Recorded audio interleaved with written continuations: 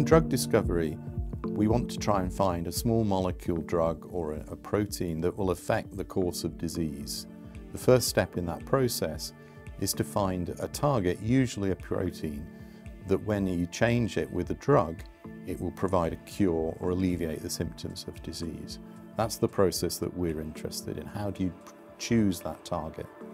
The process of drug discovery takes a long time, up to 10 years, and is expensive. It could be $2 billion to get an approved drug. Also, most of the time, drug discovery programs fail, usually because the drug doesn't work or it's not safe. This is a problem that we want to improve through Open Targets. Open Targets is a consortium of five pharma partners and two academic partners, including EMBL EBI, that have come together to try to solve the problem of how to pick the best target for a safe and effective medicine. We integrate data from many different resources that are available in the public domain. To find new insights from that data, find new targets, we need to use uh, cutting edge resources like machine learning, deep learning and so on to identify targets that people have not chosen before. One of the things we're working on now is to use gene editing using the CRISPR-Cas9 system to affect the function of proteins in cells to identify whether they will be good drug targets. Our approach works best if we can share data across academic and industry sectors to provide us with more data and more insights into the targets.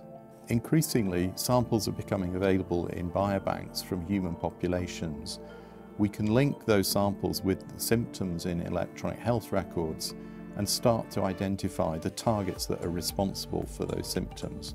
These will make good drug discovery targets.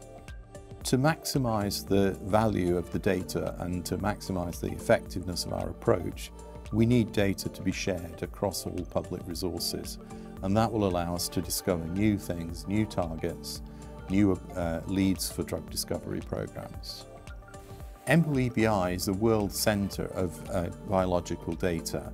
That data describes the relationships between targets and disease and we can use that data to identify the right targets for drug discovery.